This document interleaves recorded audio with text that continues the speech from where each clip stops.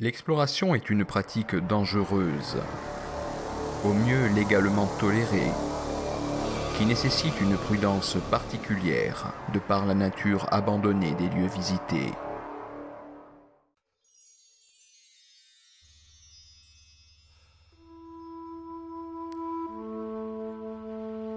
La porte doucement refermée derrière moi, je suis là dans cette pénombre aveuglante où le moindre rayon de soleil est en même temps lueur révélatrice et bienvenue, et l'âme acérée qui lacère les yeux habitués aux ténèbres alentours.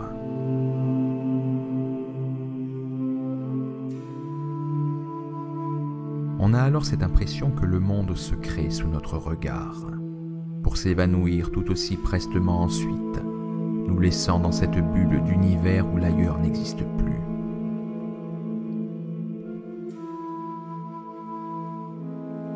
Les pas sont lents, lourds et légers à la fois, comme pour tenter tant bien que mal de s'assurer que le sol à peine devinable dans l'ombre existe bien, sans n'être que cet abîme infini qui semble dévorer l'extérieur du champ de vision.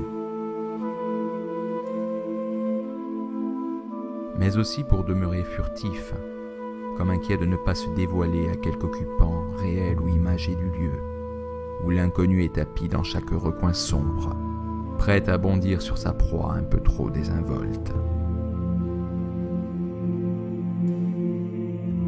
À bien y réfléchir pourtant, le seul fantôme tangible de ces couloirs abandonnés, ce n'est que moi.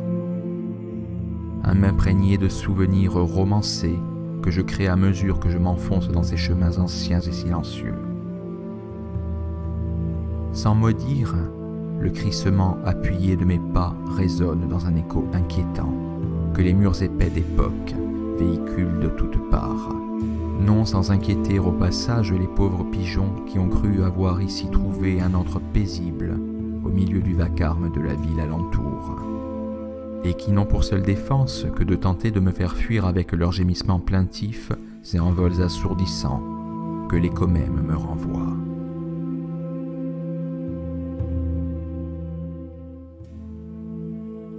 Le vide apparent des cellules désaffectées est pourtant rempli d'éclats de vie passés et fictifs, où chaque détail résiduel devient une histoire, où le quotidien supposé s'anime et nourrit ses idées fantasmées.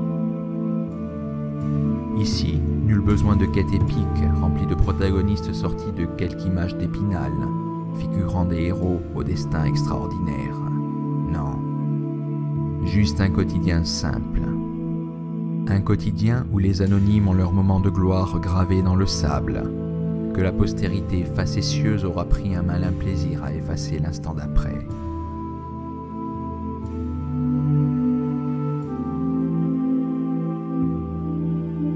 Soyons bassement réalistes. Nous ne laisserons pour la plupart pas plus de traces tangibles de notre passage que des anecdotes enjolivées par ce qui demeure après nous.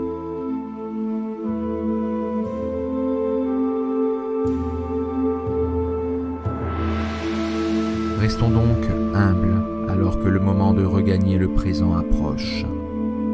Que la lumière et le bruit de la vie remplissent à nouveau et peu à peu l'espace, pour chasser le néant entre ces cases de pénombre, où les histoires d'antan se sont brièvement déroulées.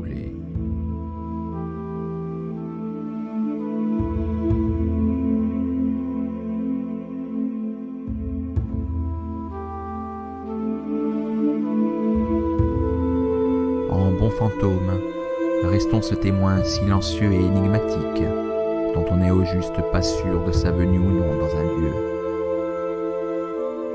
La porte est fermée, comme je l'ai trouvée,